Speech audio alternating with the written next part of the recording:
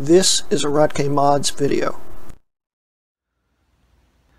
Hello, I'm Greg Hrutkay of Hrutkay Mods, and welcome to episode 12 of my Mac Pro series. In this episode, I will be showing you how to install Windows 10 or any other Windows that you'd like onto any Intel Mac.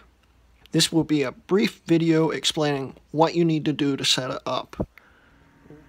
Just a quick tip if you are installing Windows 10, Windows 7, or Windows 8 onto a Mac Pro, especially one with more than 16 gigabytes worth of RAM or has more than one processor, you will want to only install professional or higher.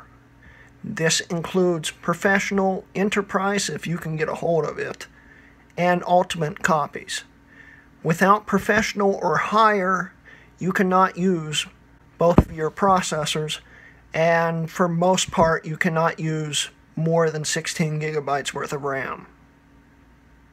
Let's begin. We click Next, click Install Now. Setup starts up.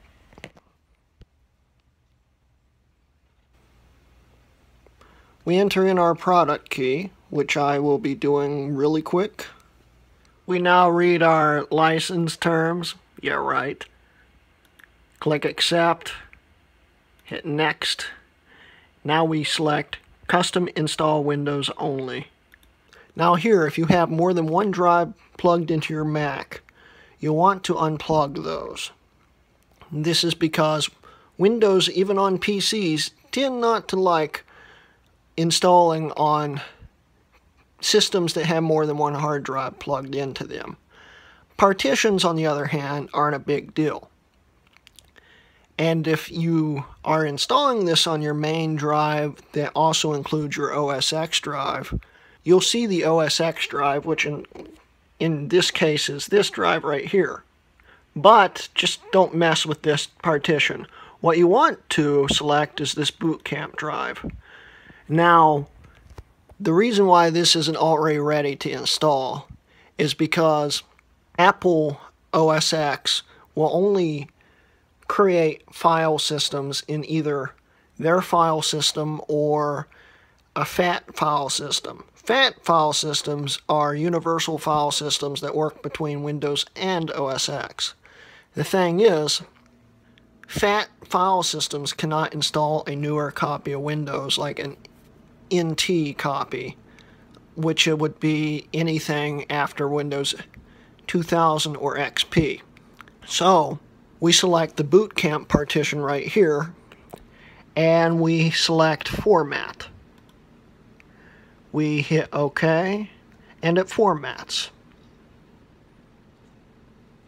Now it is an NTFS file system, which means now we can install onto this partition. We click Next, and it starts installing. And I will come back to this video once it's all set up. And we are booted into the setup. This part's pretty self-explanatory, so I will not be covering this, but I will come back when I'm on the desktop. We are now on the desktop, and to show you that we are on a Mac, I will pull up system information.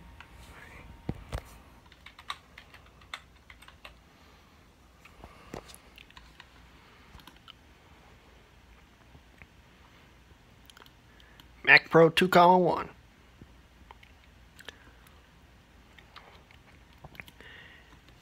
Anyway, thank you for watching. And in the next video, episode 13, I will be explaining to you how to enable AHCI in Windows. This will allow your hard drives to run at full speed and enable trim support for SSDs. Anyway, once again, thank you for watching, and this has been a Hrutkay Mods video.